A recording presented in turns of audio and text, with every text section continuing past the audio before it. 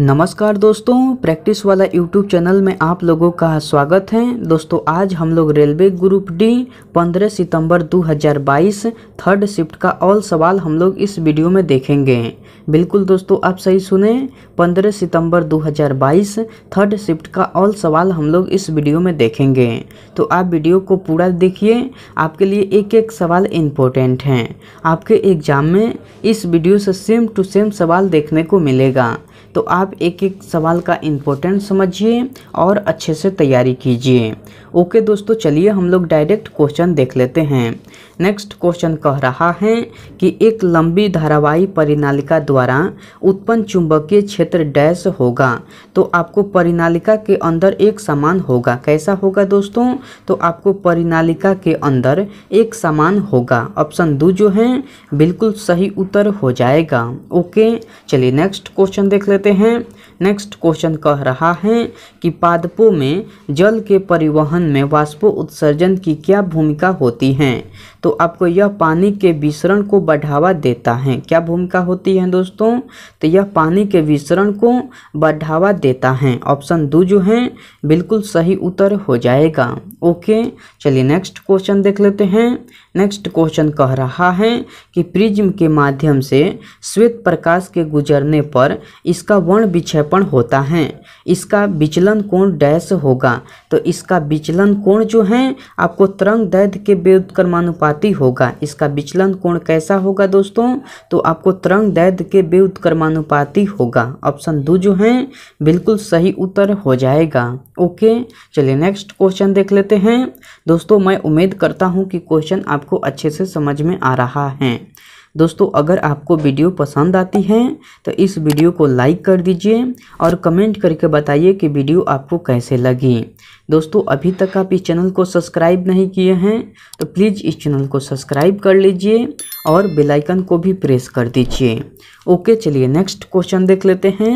Next question कह रहा है कि अपशिष्ट उत्पादों को पादप कोशिका के अंदर कहाँ संचित किया जाता है? तो आपको रस धानियों में संचित किया जाता है। कहाँ संचित किया जाता है? तो आपको रस धानियों में संचित किया जाता है। ऑप्शन दो जो है, बिल्कुल सही उत्तर हो जाएगा। ओके, चलिए नेक्स्ट क्वेश्चन देख लेते हैं। नेक्स्ट क्वेश्चन कह रहा है कि अजैव निम्नीकरणीय का क्या तात्पर्य है? तो वे पदार्थ जो जैविक प्रक्रियाओं द्वारा विघटित नहीं होते हैं, वे अजैव निम्नीकरणीय कहलाते हैं। ऑप्शन दो जो है, बिल्कुल सही उत्तर हो जाएगा। ओके, चलिए नेक्स्ट क्वेश्चन देख लेते हैं। नेक्स्ट क्वेश्चन कह रहा है कि इनमें से कौन सा तत्व प्राकृतिक में सबसे अधिक धात्विक होता है? तो आपको सीजियम होता है। कौन सा तत्व होता है दोस्तों? तो आपको सीजियम होता है। ऑप्शन चार जो है, बिल्कुल सही उत्तर हो जाएगा। ओके, चलिए नेक्स्ट क्वेश्चन देख लेते हैं। नेक्स्ट क्वेश्चन कह रहा है कि दी गई अभिक्रिया पर विचार कीजिए। जैसे कि K L plus P B N O three अभिक्रिया करके two K N O three plus P B L two बनाता है। यह डैश का उदाहरण है। तो यह जो है, आपको द्वि विस्थापन अभिक्रिया का उदाहरण है। यह किसका उदाहरण है? तो यह आपको द्वि विस्थापन अभिक्रिया का उदाहरण है। ऑप्शन चार जो है, बिल्कुल सही उत्तर हो जाएगा। ओके चलिए नेक्स्ट क्वेश्चन देख लेते हैं। नेक्स्ट क्वेश्चन कह रहा है कि इनमें से कौन सा पशु भारतीय रिज़र्व बैंक के प्रतीक चिन्ह पर मौजूद हैं। तो आपको बाघ हैं। कौन सा पशु हैं दोस्तों? तो आपको बाघ हैं। ऑप्शन तीन जो हैं बिल्कुल सही उत्तर हो जाएगा। ओके, चलिए नेक्स्ट क्वेश्चन देख लेते हैं। नेक्स्ट क्वेश्चन कह रहा है कि जब एथेनॉल एक अम्लीय माध्यम में पोटेशियम डाइक्रोमेट के साथ अभिक्रिया करता है तो कौन सा प्रमुख उत्पाद प्राप्त होता है? तो आपको एथेनोइक अम्ल प्राप्त होता है। कौन सा प्रमुख उत्पाद प्राप्त होता है? तो आपको एथेनोइक अम्ल प्राप्त होता है। ऑप्शन एक जो है, बिल्कुल सही उत्तर हो जाएगा। ओके। चलिए नेक्स्ट क्वेश्चन देख लेते हैं।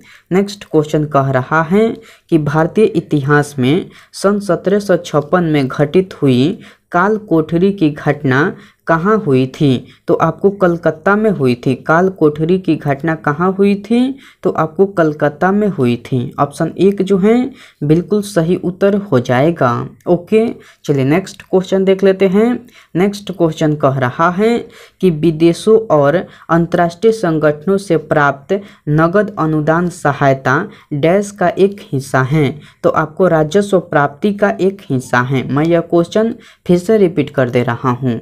क्वेश्चन कह रहा है कि विदेशों और अंतर्राष्ट्रीय संगठनों से प्राप्त नगद अनुदान सहायता डैश का एक हिस्सा है। तो आपको राजस्व प्राप्ति का एक हिस्सा है। ऑप्शन दो जो है, बिल्कुल सही उत्तर हो जाएगा। ओके, चलिए नेक्स्ट क्वेश्चन देख लेते हैं। नेक्स्ट क्वेश्चन कह रहा है कि विद्युत मोटर एक ऐसा उपकरण है जो डैश परिवर्तित करता है। तो विद्युत मोटर एक ऐसा उपकरण है जो विद्युत ऊर्जा को यांत्रिक ऊर्जा में परिवर्तित करता है। ऑप्शन तीन जो है, बिल्कुल सही उत्तर हो जाएगा। ओके, चलिए नेक्स्ट क्वेश्चन देख लेते हैं।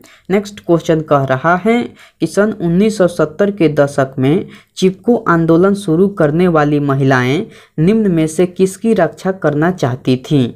तो आपको एक अक्षय संसाधन की रक्षा करना चाहती थी। किसकी रक्षा करना चाहती थी? तो एक अक्षय संसाधन की। ऑप्शन दो जो है, बिल्कुल सही उत्तर हो जाएगा। ओके, चलिए नेक्स्ट क्वेश्चन देख लेते हैं।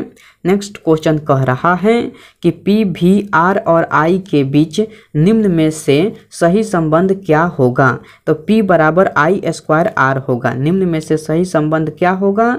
तो पी बराबर आई स्क्वायर आर होगा। ऑप्शन तीन जो हैं, बिल्कुल सही उत्तर हो जाएगा। ओके, चलिए नेक्स्ट क्वेश्चन देख लेते हैं। नेक्स्ट क्वेश्चन कह रहा है कि प्रत्येक ग्राम पंचायत का प्रतिनिधित्व कितने सरपंच करते हैं? तो आपको एक सरपंच करते हैं। प्रत्येक ग्राम पंचायत का प्रतिनिधित्व कितने सरपंच करते हैं तो आपको एक सरपंच करते हैं। ऑप्शन एक जो है, बिल्कुल सही उत्तर हो जाएगा। ओके, चलिए नेक्स्ट क्वेश्चन देख लेते हैं।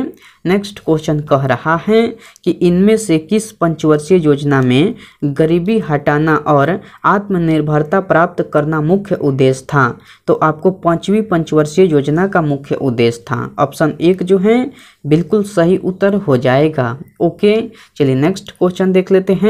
नेक्स्ट क्वेश्चन कह रहा है कि बैगनी हरे नारंगी और पीले रंगों में से किस रंग का अपर्तनांक सबसे कम होगा? तो आपको नारंगी रंग का अपर्तनांक जो है, आपको सबसे कम होगा। किस रंग का अपर्तनांक सबसे कम होगा? तो आपको नारंगी रंग का ऑप्शन दो जो है, बिल्कुल सही उत्तर हो जाएगा। ओके दोस्तों, चलिए नेक्स्ट क्वेश्चन देख लेते हैं। नेक्स्ट क्वेश्चन कह रहा है कि वर्ष उन्नीस सौ छिहत्तर में चौबीसवें संविधान संशोधन के माध्यम से डैश के तहत संविधान के भाग चार में दस मूल कर्तव्यों को जोड़ा गया है। तो अनुच्छेद इक्यावन के ए के तहत जोड़ा गया है। किसके तहत जोड़ा गया है दोस्तों? तो अनुच्छेद इक्यावन के ए के तहत जोड़ा गया है। ऑप्शन चार जो है, बिल्कुल सही उत्तर हो जाएगा। ओके, चलिए नेक्स्ट क्वेश्चन देख लेते हैं। नेक्स्ट क्वेश्चन कह रहा है कि इनमें से कौन सी अभिक्रिया उत्पादों के निर्माण के साथ साथ उष्मा भी मुक्त करती हैं? तो आपको उष्मा छेपी अभिक्रिया करती हैं। कौन करती हैं दोस्तों? तो उष्मा छेपी अभिक्रिया। ऑप्शन तीन जो है, बिल्कुल सही उत्तर हो जाएगा। ओके, चलिए नेक्स्ट क्वेश्चन देख लेते हैं। नेक्स्ट क्वेश्चन कह रहा है कि निम्नलिखित में से कौन सी गर्भ निरोधक विधि, अवांछित गर्भधारण और एसटीडी दोनों को नियंत्रित करने के लिए उपयोगी हैं? तो आपको कंडम है। कौन उपयोगी है दोस्तों? तो कंडम उपयोगी हैं। ऑप्शन दो जो है, बिल्कुल सही उत्तर हो जाएगा। ओके चलिए नेक्स्ट क्वेश्चन देख लेते हैं। नेक्स्ट क्वेश्चन कह रहा है कि एक आपतित किरण अवतल दर्पण के फोकस से होकर गुजरती हैं। तो परावर्तित किरण डैश होगी। तो इसका परावर्तित किरण जो है, आपको मुख्य अक्ष के समानांतर होगी। इसका परावर्तित किरण कैसा होगी दोस्तों? तो आपको मुख्य अक्ष के समानांतर होगी। ऑप्शन तीन जो है, बिल्कुल सही उत्तर हो जाएगा। ओके। चलिए नेक्स्ट क्वेश्चन देख लेते हैं। नेक्स्ट क्वेश्चन कह रहा है कि मंत्री परिषद यानी कि भारत सरकार का अध्यक्ष कौन होता है? तो आपको प्रधानमंत्री होता है। कौन होता है दोस्तों? तो आपको प्रधानमंत्री। ऑप्शन चार जो है, बिल्कुल सही उत्तर हो जाएगा। ओके। चलिए नेक्स्ट क्वेश्चन देख लेते हैं। नेक्स्ट क्वेश्चन कह रहा है कि इनमें से कौन से आबंध हाइड्रोकार्बन के कार्बन कार्बन परमाणुओं के बीच बनते हैं? तो आपको सहसंयोजी आबंध बनते हैं। कौन बनते हैं दोस्तों? तो सहसंयोजी आबंध। ऑप्शन चार जो हैं, बिल्कुल सही उत्तर हो जाएगा। ओके, चलिए नेक्स्ट क्वेश्चन देख लेते हैं। नेक्स्ट क्वेश्चन कह रहा है कि भारत में ईसाई धर्म लाने वाला पहला व्यक्ति किसे माना जाता है? तो आपको सेंट थॉमस को माना जाता है। किसे माना जाता है? तो सेंट थॉमस को ऑप्शन तीन जो है, बिल्कुल सही उत्तर हो जाएगा। ओके, चलिए नेक्स्ट क्वेश्चन देख लेते हैं। नेक्स्ट क्वेश्चन कह रहा है कि लार एमाइलेज डैश के पाचन में मदद करता है। तो लार एमाइलेज जो है, आपको स्टार्च के पाचन में मदद करता है। ऑप्शन चार जो है, बिल्कुल सही उत्तर हो जाएगा। ओके, चलिए नेक्स्ट क्वेश्चन देख लेते हैं। नेक्स्ट क्वेश्चन कह रहा है कि महात्मा गांधी अंतर्राष्ट्रीय हिंदी विश्वविद्यालय कहाँ स्थित हैं? तो आपको वर्धा में स्थित हैं। कहाँ स्थित हैं दोस्तों? तो आपको वर्धा में स्थित हैं। ऑप्शन चार जो हैं, बिल्कुल सही उत्तर हो जाएगा। ओके, इस शिफ्ट में इतना ही सवाल था। मैं उम्मीद करता हूँ कि सारे सवाल आपको याद हो गया होगा। दोस्तों, अगर आपको सारे सवाल याद नहीं हुआ है तो आप इस वीडियो को फिर से देखिए। आपके लिए एक एक सवाल इम्पोर्टेंट हैं। आपके एग्ज़ाम में इस वीडियो से सेम टू सेम सवाल देखने को मिलेगा। ओके मैं आपसे नेक्स्ट वीडियो में मिलता हूँ। तब तक के लिए टेक केयर दोस्तों एंड बाय